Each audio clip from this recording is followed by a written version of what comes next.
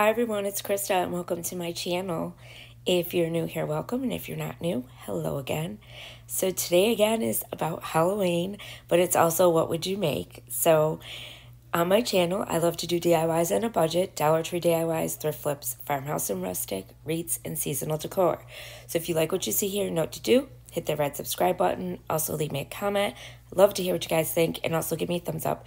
That helps my channel. You can also follow me over on Instagram, Pinterest, TikTok, and Facebook. But like I said, today is all about what wood you make, and our hosts are Rustic and Lace DIY, DeVyne DeZyne, and also the guest host is the DIY Struggler. More about that in a minute, but first, DIY number one.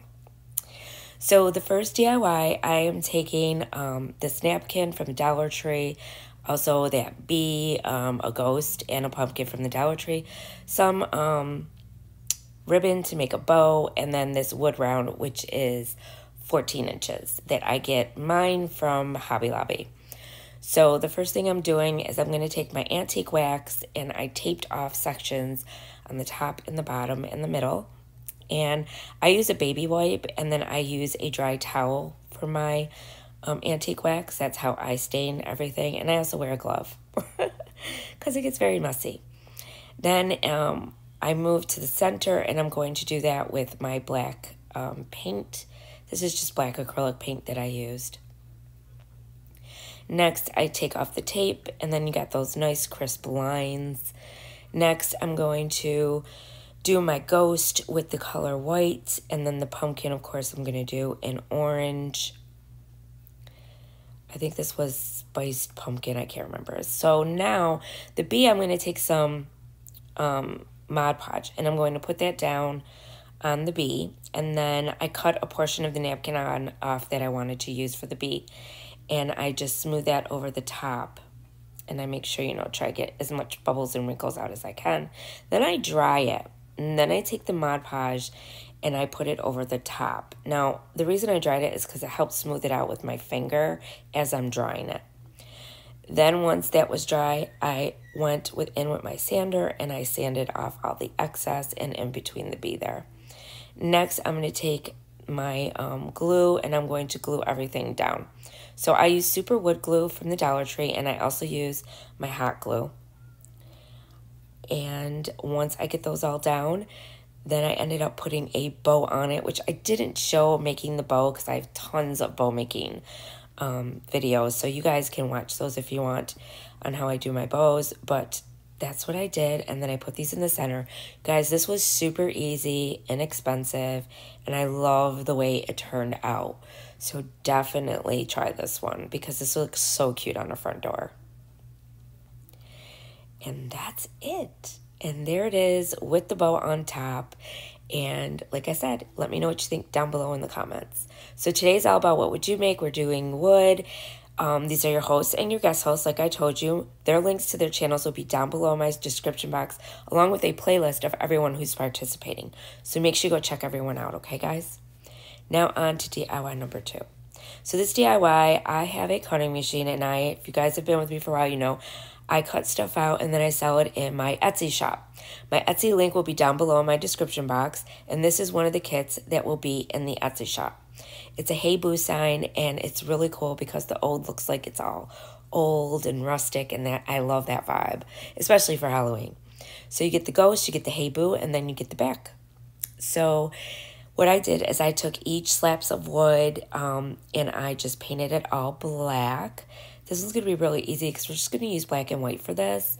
And then you'll see I'm going to make the sides look a little old with a different color paint. Then, of course, the ghost I did in white. And then I did the Hey Boo also in white.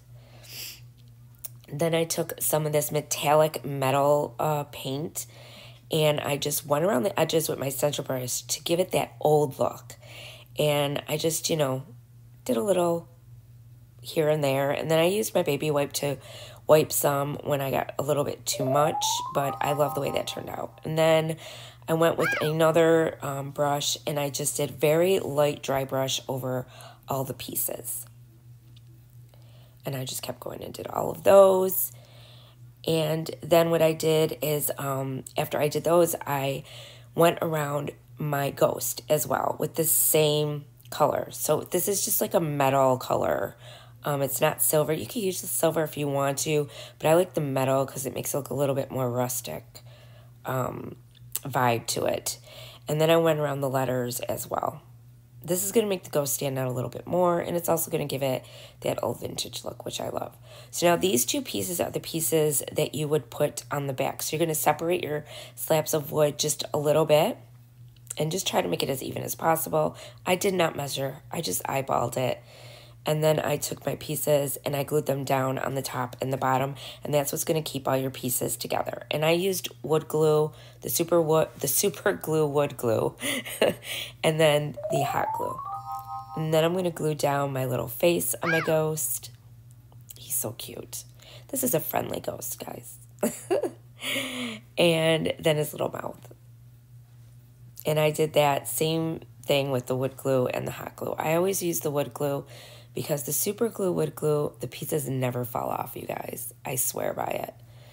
Then I'm going to glue down my Hey Boo and then my, um, figure out where I want them.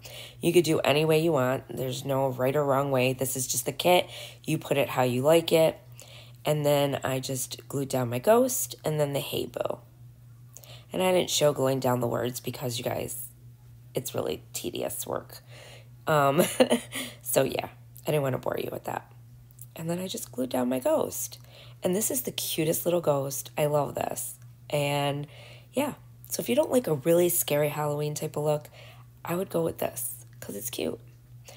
And then I'm going to make my bow. Now in this one, I show you how I make my bow. So what I do is I use a Bowdabra and I just flip my ribbon back and forth and then I make my tails as long as I think I need them. Usually I cut them down 50 zillion times because you know how that goes. And then I took some of this buffalo check ribbon from Christmas and I flipped that back and forth in the Bowdabra as well. I always use the Bowdabra because it's really easy when you have voyeur ribbon. And then I went in with this striped um, ribbon as well and you just make a cute bow, you guys. And you make it as short or as long as you want it. And you also make your loops as big as you want them. And then I use a zip tie to tie my bows only because it's really tight and I have a hard time with string, tying string. So I just get it the way I want it. I make sure I pull my tails down. I don't zip tie it really tight until I want, you know, I get it where I want it, make sure it's in the center. And then I just, you know, do um, my ends. I make them look really cute and I just give it a little cut, fold them in half and cut in an upward direction. And then I took some jute twine and I'm just going to put some black and white beads on it and that's going to be my hanger. Now these white beads I got from Hobby Lobby when they were on sale. And then I put a little knot on the end of both sides of my string so the beads don't fall off. And then I'm going to put my little bow in the corner that I made and I just glue that down. And then the beads, I just um, put those in the back, and there it is. Really simple, you guys. Let me know what you think. Also, go check out my Etsy shop. Some of this stuff is in there for sale. You can make your own, and the ones that I already made will be in there as well. Next, we're going to take a, um, I believe this is 12 inch from the Dollar Tree round. I'm going to split it kind of like in half, and I'm going to take some um, uh, oh my god, antique wax and a baby wipe, and I'm going to wipe that on the side, one side, and then the other side I'm going to do black. And I always use a sponge. I cut it up from the Dollar Tree. They come in like a pack of five, and I use those. This time I'm using my Cricut. This is on my Cricut. I got this design. So if you have a Cricut, great. If you don't have a Cricut, then you can always use stickers. They have tons of rub on transfers you could get on Amazon. I mean, you guys, it's endless possibilities here. And you could put ghosts on there or you could do whatever design you want. This is just what I chose to do. And um, then I put Hey Boo on the other side. And I did get, like I said, this whole Cricut design is already made for you in Cricut. So if you have the Cricut, it's really great to get these designs, especially if you have the membership for every month. Then I took some of these old um, they're like glittery branches from the Dollar Tree, and I glued them on the top. And then I just took this bow that I made a little bow with some fabric, and I tied it in knot in the center and that's it. Super simple, you guys. There's so many wood signs. You could do so much. Endless possibilities. So now DIY number four. Now this one I made on my, uh, this will be in my shop. I made this on my wood machine and it comes with these stands so that they could stand up on a shelf, okay? And they're little ghosts and I think they are adorable. It's a Mr. and Mrs. Ghost. And I'm to use a lot of scrapbook papers, like scrapbook Halloween paper that I had in my stash instead of just painting because I think it just gives it more character, gives them a little bit more character. And yeah, so I used a whole bunch, and it comes with the bats, it comes with the bow tie for the gentleman ghost, and then for the lady ghost, it comes with a little bow. So first, I'm going, of course, paint them all white. So I did the front, the back, the sides, and then my little stands that you see there, the triangle stands, I painted those white as well. Then um, these come laser cut, so you're going to still see the face and the little nose on the girl and then the eyes and everything. So what I did is I went in with some pink paint that I had. I forget what color this is, you guys, but you can use any paint that you have that's pink. And I did the little nose. And then the other nose for the gentleman I did, it's a little square nose. I did that in pink as well. Then I of course, traced out all my scrapbook paper for my little pieces. And then I put Mod, Mod Podge down with my little brush. And then we're just going to stick those on all the pieces and make our little bow, our bats, and also the bow tie for the gentleman ghost. And I just use different ones because the, the it comes with the little round piece for the bow for the girl's hair, and I use different ones. Then I run around the edges with my dark antiquing wax. This is in my shop. I use this a lot to give it a um, rustic, old look to my things. You could skip this part if you don't like, you know, doing that. You could just leave them, you know, as is without even using the wax. But I went around the edges of my ghosts as well because I felt like they needed something a little extra, and I wanted them to look a little old. And so I went around the edges with the stencil brush.